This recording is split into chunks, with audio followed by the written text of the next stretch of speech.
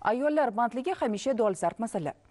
Uyda ishsiz o'tirgan ayollarni foydali mehnatga jalb etish ularning bo'sh vaqtini mazmunli tashkil etish bilan birga oilalarning shaxsiy daromadini oshirishda ham muhim sanaladi. Ayniqsa oilaviy tadbirkorlikni rivojlantirish ustoz shogird an'analari asosida hunarmandchilik bilan shug'ullanishni targ'ib etish aholi tomorqalaridan samarali foydalanish borasidagi ishlar surxondaryo viloyatida ham keng ko'lam kasb etmoqda. Bu esa eng birinchi navbatda voha xotin qizlarning bandligini ta'minlashga xizmat qilmoqda.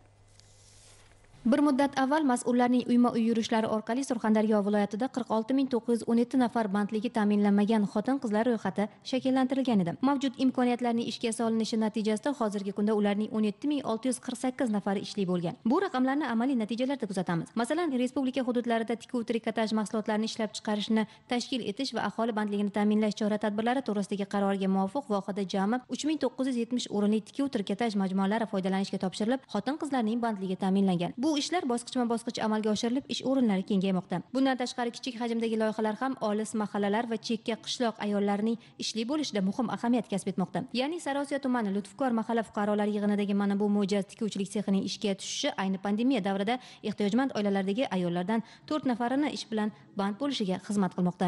Ariza bilan tuman hokimligiga murojaat qildim. Biz tuman markazidan mana bu e, to'rt sotiklik yer ajratib berishdi. Avvaliga hunarmandchilik bilan shug'ullandik. Uchta to'rtta shogirdlar bilan birga hunarmandchilik bilan shug'ullandik. Endi ikki ming yigirmanchi yildan boshlab mm, faoliyatimizni tadbirkorlikka aylantirdik. Hozirgi pandemiya davrida uyga o'tirgan ayollarimizni qiynalib qolgan ayollarimizni ish bilan ta'minlash maqsadida e, faoliyat olib boryapmiz. Bu kabi tikuvchilik sexlarida xotin qizlar dastlab shogird bo'lib keyin mohir usta bo'lib yetishmoqda. Tabiiyki ustozlar yangi shogirdlarni tarbiyalashadi. Ko'p qavatli uyda yashaymiz.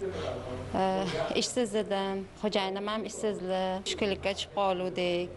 Tikuvchimiz kamolva surayyo chaqirdilar bizni shu yerda.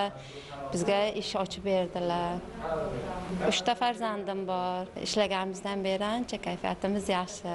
Tumanning gulobod mahallasidagi habib ermani sut va sut mahsulotlarini qayta ishlash kichik korxonasi klaster uslubida ishlarini yo'lga qo'yib nafaqat ayollar balki ko'plab yoshlarning bandligini ham ta'minlamoqda. Ta'kidlash kerak aholi bandligini ta'minlash xususan yoshlar va ayollar bilan ishlash tizimidagi amaliy jarayonlar shunchaki raqamlarda emas. Masalan vohaning denov tumanidagi denov baraka chevarlari nomli mana bu korxona karantin e'lon qilinishidan bir muddat avval faoliyat boshlagan edi. Tumandagi kam ta'minlangan nogironligi bor va ehtiyojmand oilalar uchun bunyod etilgan turar joylar yonida qurilgan ushbu korxonaning ishga tushishi bilan xuddi shunday yigirmata oilaning mehnatga layoqatli a'zolari doimiy ish o'rniga ega bo'ldilar. Surxondaryo viloyatida ayollarni hunarmandchilik kasanachilik kabi uy mehnatlari va tadbirkorlikka jalb etish asosida ham ish o'rinlari yaratilmoqda. E'tiborli jihati shu kunlarda ishsiz og'ir turmush sharoitidagi xotin qizlar uchun joylarda ustoz shogird an'analari asosida malakali hunarmandlar biriktirilib karantin talablari asosida o'quv kurslari ham tashkil etilmoqda. Vohaning olis oltinsoy tumanidagi jarayonlar ana shunday e'tiborga molik tashabbuslardan biri hisoblanadi.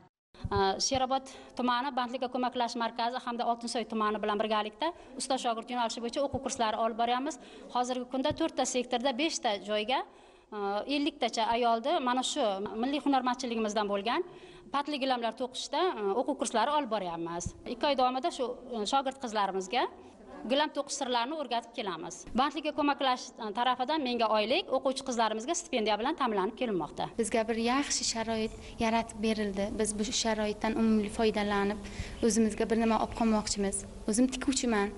Yana buni ustiga gilam to'qishni ham orzu qilib yuragimda tugib yurardim.